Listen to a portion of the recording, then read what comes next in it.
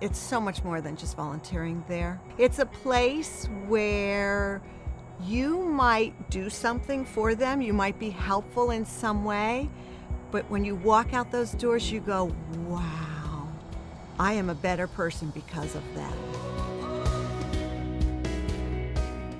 I've always heard of Mercy School for Special Learning and but never really was involved that much until my wife Karen got involved with volunteering and the more you're around that place, the more you fall in love with the people who are there and most importantly the kids. When I walk into the doors of Mercy, it's always a surprise.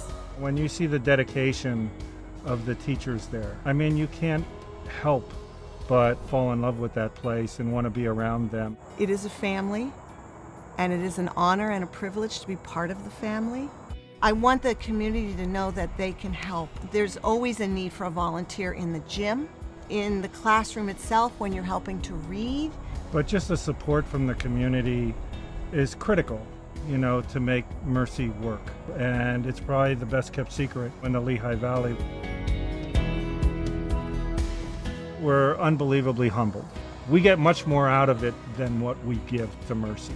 We are hoping by saying yes to this honor that we can help more. First, I'd like to thank Kim, Room 4 teacher, and Julia and Kathy. I would like to thank the children of Room 4, and I most definitely need to thank those of you who will be supporting this gala for Mercy School for Special Learning. From the bottom of my heart, thank you. I'd like to thank all the students at Mercy, and I'd especially like to thank Vicki. You're a special person, Vicki, and Mercy is so lucky to have you. Thank you.